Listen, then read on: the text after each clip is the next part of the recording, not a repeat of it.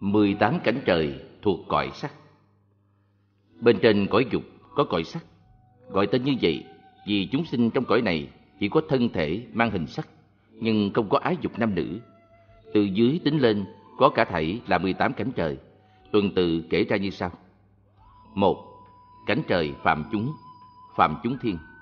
hai Cảnh trời phạm phụ, phạm phụ thiên. ba Cảnh trời đại phạm, đại phạm thiên. Ba cảnh trời này đều gọi chung là các cảnh trời sơ thiền, sơ thiền thiên. Mỗi cảnh trời này sau khi trải qua thời gian một kiếp cũng đều bị nạn lửa hủy hoại. 4. Cảnh trời thiểu quan, thiểu quan thiên. 5. Cảnh trời vô lượng quan, vô lượng quan thiên. 6. Cảnh trời quan âm, quan âm thiên. Ba cảnh trời này đều gọi chung là các cảnh trời nhị thiền, nhị thiền thiên. Mỗi cảnh trời này sau khi trải qua thời gian bảy kiếp đều sẽ bị nạn hồng thủy quỷ hoại. 7. Cảnh trời thiểu tịnh, thiểu tịnh thiên. 8. Cảnh trời vô lượng tịnh, vô lượng tịnh thiên. 9. Cảnh trời biến tịnh, biến tịnh thiên. Ba cảnh trời này đều gọi chung là các cảnh trời tam thiền, tam thiền thiên. Mỗi cảnh trời này sau khi trải qua thời gian 64 kiếp đều sẽ bị nạn gió quỷ hoại. 10. Cảnh trời phước sanh, phúc sanh thiên. 11. Cảnh trời phước ái, phúc ái thiên. 12. Cảnh trời quảng quả, quảng quả thiên. 13. Cảnh trời vô tưởng, vô tưởng thiên. Bốn cảnh trời này cho đến cảnh trời sắc cứu cánh sẽ nói bên dưới, cộng chung là chín cảnh trời, đều gọi chung là cảnh trời tứ thiền, tứ thiền thiên. Không còn bị các nạn lửa, nước và gió, gọi chung là tam tai, làm hại được nữa. 14. Cảnh trời vô phiền, vô phiền thiên. 15. Cảnh trời vô nhiệt, vô nhiệt thiên. 16. Cảnh trời thiền kiến, thiền kiến thiên. 17. Cảnh trời thiền hiện, thiền hiện thiên. 18. Cảnh trời sắc cứu cánh, sắc cứu cánh thiên. Năm cảnh trời này cũng được gọi chung là năm cảnh trời bất hoàng, ngũ bất hoàng thiên. 18 cảnh trời như trên, chư thiên ở đó đều tu tập phạm hành thanh tịnh cùng các pháp thiền định phước lạc. Chỉ là mức độ nhiều ít, sâu cạn không giống nhau. Lời bàn Bên trên cảnh giới sắc cứu cánh là cảnh trời Ma Hê Thủ La, quy quyền cao nhất, là chủ tể cai quản thế giới ta bà này, thống nhiếp cả thảy dạng ức chư thiên cảnh trời tha quá, dạng ức chư thiên cảnh trời quá lạc, dạng ức chư thiên cảnh trời đâu xuất, dạng ức chư thiên cảnh trời già ma, dạng ức chư thiên cảnh trời đau lợi, dạng ức chư thiên cảnh trời tứ dương, dạng ức các vị nhật thiên tử, dạng ức các vị nguyệt thiên tử. Nhưng chư thiên trong cõi dục đều không được nghe biết đến danh hiệu, không được nhìn thấy hình tướng. Bốn cảnh trời thuộc cõi vô sắc. Bên trên cõi sắc lại có bốn cảnh trời. Một là cảnh trời không vô biên. Hai là cảnh trời thức vô biên. Ba là cảnh trời vô sở hữu. Bốn là cảnh trời phi tưởng phi phi tưởng. Chư thiên ở các cảnh trời này chỉ thọ hưởng kết quả do tu các pháp thiền định vô sắc, không còn nghiệp quả có hình sắc, nên gọi chung là cõi vô sắc. Lời bàn Cảnh trời phi tưởng phi phi tưởng là cao nhất trong ba cõi. Chư thiên ở đó có tuổi thọ đến 84.000 đại kiếp, nhưng thảy đều chưa thấu rõ được chân tâm sáng suốt màu nhiệm. Nên một khi phước trời đã hết, vẫn phải trở lại lưu chuyển trong luân hồi. Nếu nhìn từ góc độ nhà Phật, thì đó vẫn là hàng phàm phu, chưa giải thoát ra khỏi thế gian. Nhưng là thượng giới, trung giới và hạ giới, không giống như tam giới hay ba cõi trong kinh Phật. Phụ đính hai mục vấn đáp. Một, vì sao có nhiều cảnh trời? Hỏi, nói về trời, đó là danh xưng của bậc chí tôn, không ai bằng được mới có thể gọi là trời. Làm sao lại có nhiều loại danh xưng, hình sắc khác nhau như thế? Đáp, con người cũng được xem là linh giác trong dạng vật. Lẽ nào chỉ có thể gọi chung là người mà không phân biệt kẻ hiền, người ngu, kẻ cao quý, người hạ tiện. Trong kinh dạy rằng, giữ tròn năm giới thì được sinh trong cõi người, tu mười thiện nghiệp thì được sinh lên cõi trời. Tuy nhiên, trong việc làm theo năm giới với mười thiện nghiệp là cũng có những mức độ nhiều ít sâu cạn khác nhau. Cho nên trong cõi người, phước đức của mỗi người cũng không giống nhau. Chư thiên trong các cảnh trời cũng vậy. Phước đức của mỗi vị cũng không giống nhau. 2. Sự phân chia phàm thánh ở các cảnh trời.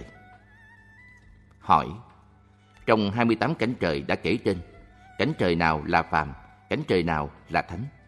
Đáp: có hai cảnh trời thuộc về phàm, năm cảnh trời thuộc về thánh, còn lại 21 cảnh trời khác đều là chỗ phàm thánh cùng cư trú. Hai cảnh trời thuộc về phàm là cảnh trời Đại Phạm Thiên thuộc Sơ Thiện Thiên và cảnh trời Vô Tưởng thuộc Tứ Thiện Thiên. Vì sao như vậy? Vì ở cảnh trời Đại Phạm, Đại Phạm Thiên Dương không hề biết rằng tất cả chúng sinh trong sáu đường. Sáu đường bao gồm ba đường lành là cõi người, cõi Atula và cõi trời. Ba đường dữ là địa ngục, ngạ quỷ và súc sinh. Thảy đều là do nghiệp đã tạo mà phải lưu chuyển sinh tử. Lại tự cho rằng mình là cao quý, chỉ có chính mình mới có khả năng kiến tạo ra hết thảy trời đất, người, vật. Do đó mà sinh khởi tà kiến. Còn ở cảnh trời vô tưởng, chư thiên ở đó toàn là những kẻ ngoại đạo, trước đây tu tập pháp định vô tưởng mà sinh về đó. Được hưởng quả báo 500 kiếp, tâm thức rỗng không, không có tư tưởng gì, rồi tự cho đó là Niết Bàn. Chư thiên cảnh trời này sau khi thọ hết quả báo sẽ khởi sinh tà kiến, rồi sinh vào địa ngục.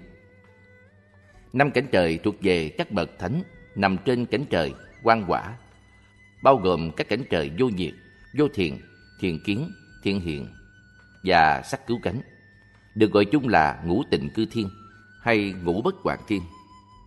Chư thiên ở năm cảnh trời này đều là các vị thánh đã chứng đắc thánh quả thứ ba là quả vị Ana Na Hàm mới được sinh về. Ngoài bảy cảnh trời kể trên, còn lại 21 cảnh trời khác đều là nơi có đủ hai bậc phàm thánh. Có thể suy ra mà biết đều là do được hưởng phước báo từ việc tu tập nghiệp lành trong hai cõi trời người. Do đó mà ta có lời dạy người. Giảng rộng Hai chữ do đó, nếu xét theo ý nghĩa trước đó là do, chưa từng bạo ngược với dân, thì chữ dạy sẽ mang ý nghĩa ngăn ngừa điều ác, làm nền tảng chuẩn bị cho câu hết thảy việc ác quyết không làm ở gần cuối bài. Lại nếu xét theo ý nghĩa của sáu câu kể từ cứu người khi nguy nan, thì chữ dạy sẽ mang ý nghĩa khuyến khích điều lành, làm nền tảng chuẩn bị cho câu hết thảy việc lành xin dân theo. Đế quân sở dĩ thương mà dạy dỗ nhắc lại nhiều lần như thế vì hy vọng rằng chúng ta đều là những con người có thể hối cải. Nhưng liệu chúng ta có quả thật không có gì phải hổ thẹn với lòng chăng? Mạnh tử nói, không có lòng trắc ẩn thì không phải là người, không có tâm hổ thẹn ghét bỏ điều ác, kim cung nhường nhịn cũng không phải là người. Theo đó mà nói, thì làm người quả thật khó. Muôn vật đều gồm đủ. Con người thật đáng tôn trọng, có thể xưng đế, xưng dương. Con người cao quý thay. Sinh ra không vật mang theo, chết đi vẫn hoàng tay trắng. có người cùng khổ thay. Món ngon vật lạ qua miệng rồi, đều thành phẫn dơ hôi thối, có người nhơ nhớp thấp hèn thai. Ai cũng từng ở trong bào thai, rồi từ đó sinh ra. Có người kém cỏi thay Ăn uống hết thảy muôn loài trên cạn dưới nước. Có người tàn nhẫn thay. Bên ngoài trang sức lụa là xinh đẹp, trong lòng ẩn giấu tên độc gươm sắt. Có người xảo trá thay. Gia đình tân quyến ràng buộc sai sử, con người thật như nô dịch. Chỉ hướng vào thân thể hạn hẹp này mà nhận đó là nhà.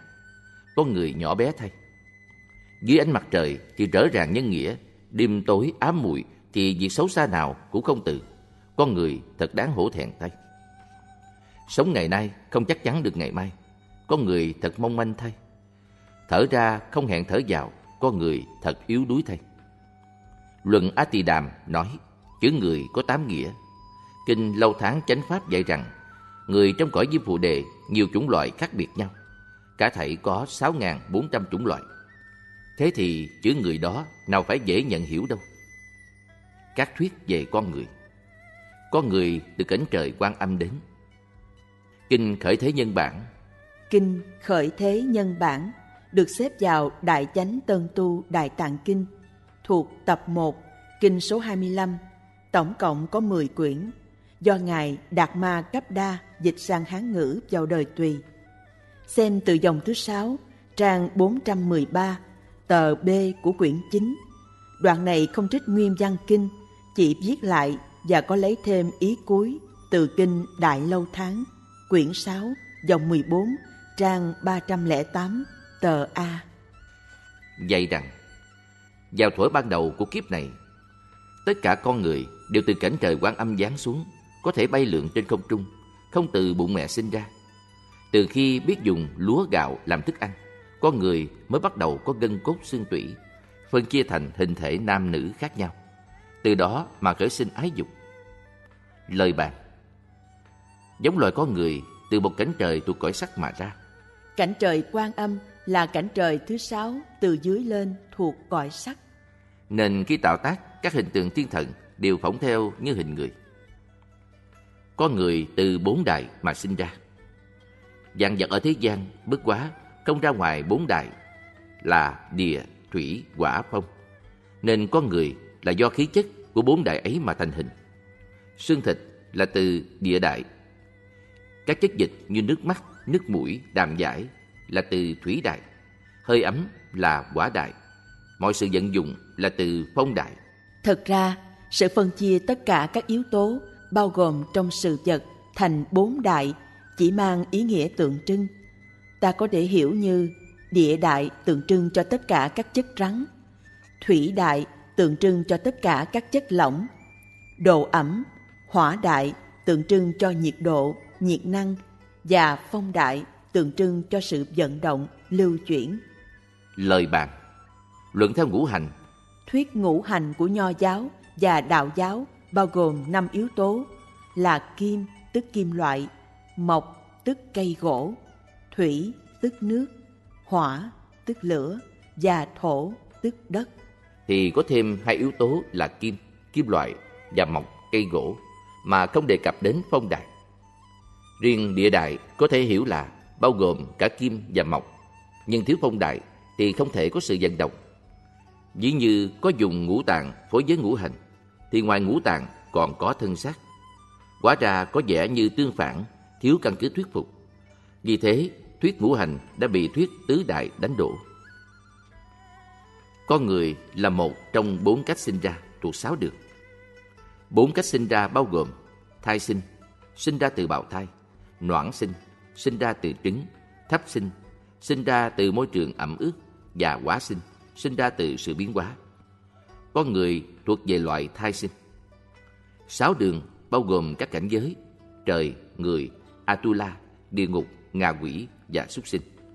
Cảnh giới con người được xếp thứ hai trong số đó. Lời bàn Con người vốn không hề có sự quyết định trước chắc chắn sẽ thuộc loại thai sinh. Lại cũng không hề có sự quyết định trước chắc chắn sẽ sinh ra làm người, mà là do nghiệp duyên thúc đẩy mới sinh làm người. Dù mang tên họ thế này thế khác, chẳng qua chỉ là tạm thời trong cõi thế.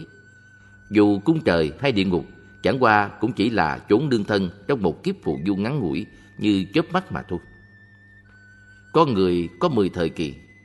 Sách Pháp Quyển Châu Lâm Xem Pháp Uyển Châu Lâm, Đại Chánh Tân Tu Đại Tạng Kinh, tập 53, kinh số 2122, quyển 5, bắt đầu từ dòng 5, trang 307, tờ B.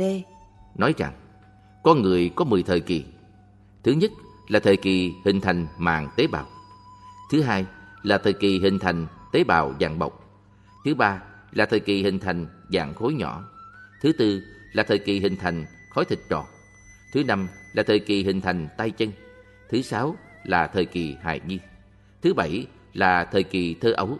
Thứ tám là thời kỳ niên thiếu. Thứ chín là thời kỳ thanh niên cường tráng. Thứ mười là thời kỳ già yếu. Thật ra, sách Pháp Uyển Châu Lâm đã trích lại toàn bộ đoạn này từ Kinh Đại Bát Niết Bàn. Bản dịch Hán văn của Ngài Đàm Vô Sấm, quyển 38, phẩm thứ 12, Bồ Tát Ca Diếp, phần 6. Xem nguyên bản trong Đại Chánh Tân Tu Đại Tạng Kinh, tập 12, kinh số 374, bắt đầu từ dòng 16, trang 588, tờ B. Xem bản Việt dịch của Đoàn Trung Còn và Nguyễn Binh Tiến, nhà xuất bản tôn giáo năm 2009, tập 7, quyển 38, trang 173 đến 174. Lời bàn Năm thời kỳ trước là nói các giai đoạn còn ở trong bào thai. Năm thời kỳ sau là nói giai đoạn từ sau khi ra khỏi bào thai. Hình dạng mặt người giống như hình dạng cõi đất. Kinh Khởi Thế Nhân Bản Kinh Khởi Thế Nhân Bản đã dẫn chú trên. Xem đoạn trích này từ dòng thứ 24, trang 366, tờ B của quyển 1. Nói rằng, cõi Nam Diêm Phù Đề rộng 7.000 do tuần, hướng Bắc mở rộng, hướng Nam hẹp lại. Vì thế, khuôn mặt con người ở cõi ấy cũng có hình thể tương tự như hình dạng cõi đất. Lời bàn Địa hình châu Bắc Câu Lô có hình vuông nên khuôn mặt người ở cõi ấy cũng vuông vắn. Châu Đông Thắng Thần có địa hình tròn nên khuôn mặt người ở cõi ấy cũng tròn trịa. Châu Tây Ngưu Bá có địa hình như nửa mặt trăng nên khuôn mặt người ở cõi ấy cũng phát triển to lớn ở phần trên não mà bên dưới nhỏ hẹp lại. Do đó suy rộng ra, như chim đậu trên cây, lông cánh hình giống cây. Thú đi trên cỏ, lông trên thân giống như cỏ. Đây cũng có thể xem là ứng dụng cái học cách vật của nho gia.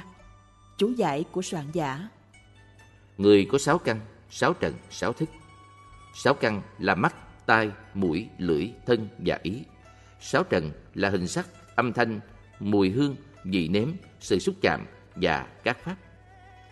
Khi mắt thấy hình sắc, tai nghe âm thanh, căn và trần đối nhau mà khởi sinh thức từ đó. Lời bàn Cùng là sáu căn đó, khi kẻ phàm phu sử dụng thì khởi sinh thành sáu tình.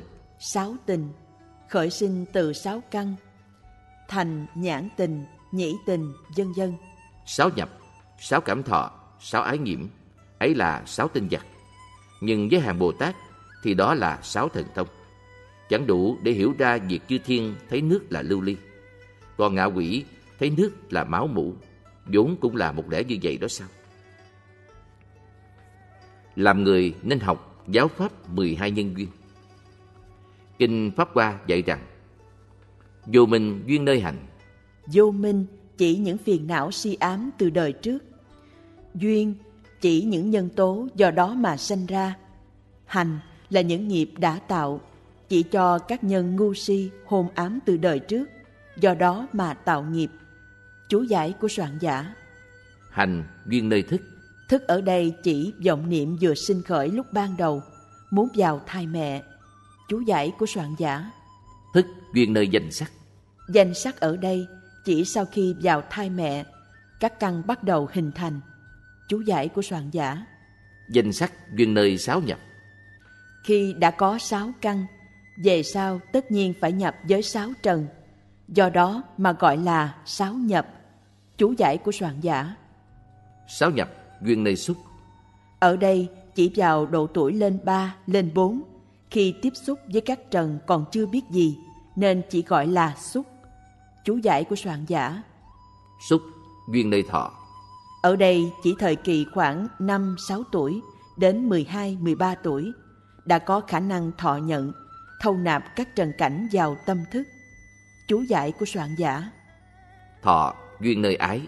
Ở đây chỉ từ độ tuổi 14-15 cho đến 18-19 tuổi, do tham muốn chạy theo âm thanh, hình sắc mà khởi tâm ái nhiễm. Chú giải của soạn giả. Ái duyên nơi thủ. Ở đây chỉ từ sau độ tuổi 20, tham dục càng mạnh mẽ, nên chạy đuổi mong cầu nơi trần cảnh không lúc nào ngừng. Chú giải của soạn giả. Thủ duyên nơi hữu. Ba cõi, tức tam giới, cũng được gọi là ba cảnh có, tam hữu. Vì đời này đã có cảnh giới thiện ác, nhất định đời sau phải có sinh tử. Chú giải của soạn giả Hữu duyên nơi sinh Đây muốn nói là trong tương lai nhất định lại phải tái sinh trong sáu đường.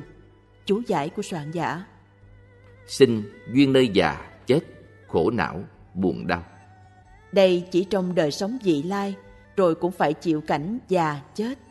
Chú giải của soạn giả Vô minh diệt, ác hành phải diệt Hành diệt, ác thức phải diệt Thức diệt, ác danh sắc phải diệt Danh sắc diệt, ác sáu nhập phải diệt Sáu nhập diệt, ác xúc phải diệt Xúc diệt, ác thọ phải diệt Thọ diệt, ác ái phải diệt, ái diệt, ác thủ phải diệt, thủ diệt, ác hữu phải diệt, hữu diệt, ác sinh phải diệt, sinh diệt, ác già chết, khổ não, buồn đau phải diệt. Tuy nguyên bản nói là trích từ Kinh Pháp Hoa, nhưng chính xác là đoạn này được trích từ Thiêm Phẩm Diệu Pháp Liên Hoa Kinh, được xếp vào Đại Chánh Tân Tu Đại Tạng Kinh, thuộc tập 9, kinh số 264. Kinh này có tổng cộng 7 quyển, do các ngài Xà Na Quật Đa và Cấp Đa cùng dịch.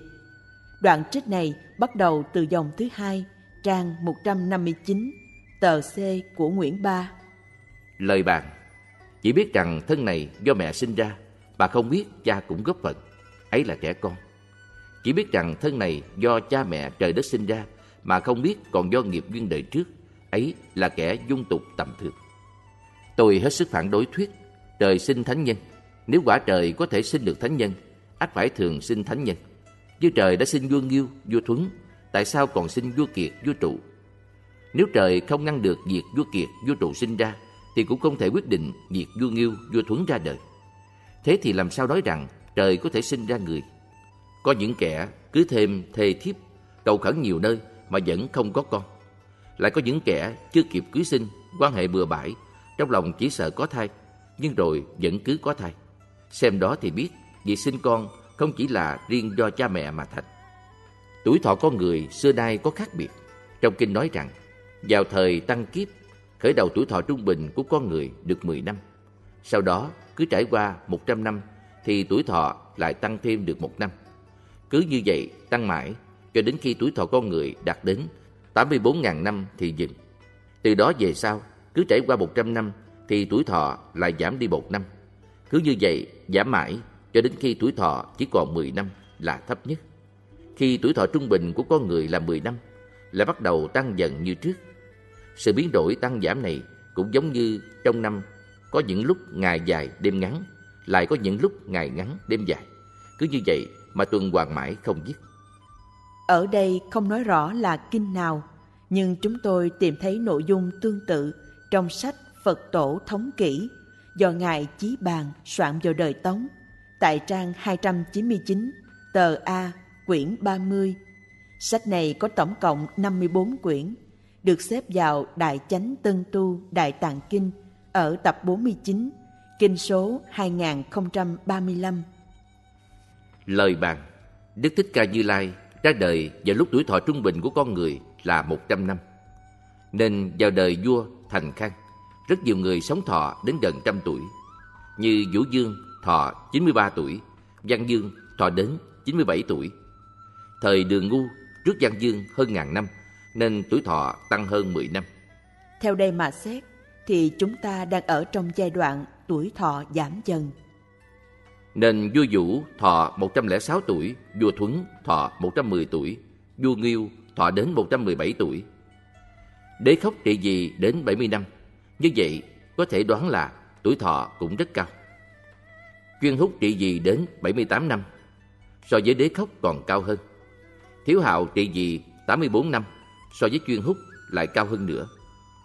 Hoàng đế trị vì 100 năm, so với thiếu hạo là tuổi thọ phải cao hơn.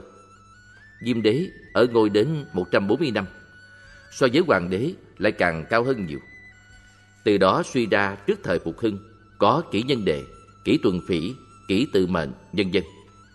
Các tên kỹ ở đây thuộc về 10 kỹ thập kỹ, Theo truyền thuyết từ thời cổ đại, thì từ khi trời đất mới hình thành, nhân hoàng giữ ngôi trị dân, cho đến năm thứ 14 triều Lỗ Ai Công vào đời Xuân Thu, tức 480 trước công nguyên. Cộng cả thảy là 2 triệu 760 ngàn năm, phân chia thành 10 kỷ, bao gồm các kỷ mang tên Cửu Đầu, Ngũ Long, Nhiếp Đề, Hợp Lạc, Liên Thông, Tự Mệnh, Tuần Phỉ, Nhân Đề, Thần Thông, Sớ Cật. Trở ngược đến thời Nhân Hoàng Nhân Hoàng là vị vua thứ ba trong truyền thuyết Trung Hoa. Trước ông là Địa Hoàng thứ hai và Thiên Hoàng thứ nhất. Trị dân chẳng biết đã mấy mươi vạn năm qua, nên anh em nhân hoàng có chín người. Cộng chung cả triều đại truyền đến 45.600 năm. Trở ngược đến thời địa hoàng rồi thiên hoàng, cũng không biết là bao nhiêu vạn năm. Nên cả hai vị ấy đều có tuổi thọ đến 18.000 năm. Những điều trên đều được truyền lại trong sử sách, có thể khảo chứng rõ ràng. Các nhà nho đời sau thấy nói về tuổi thọ ngày xưa đến mấy vạn năm cho là quan đường. Liền hết sức nỗ lực chỉnh sửa, loại bỏ đi những điều như thế. Quả thật là kiến thức quá hẹp hòi.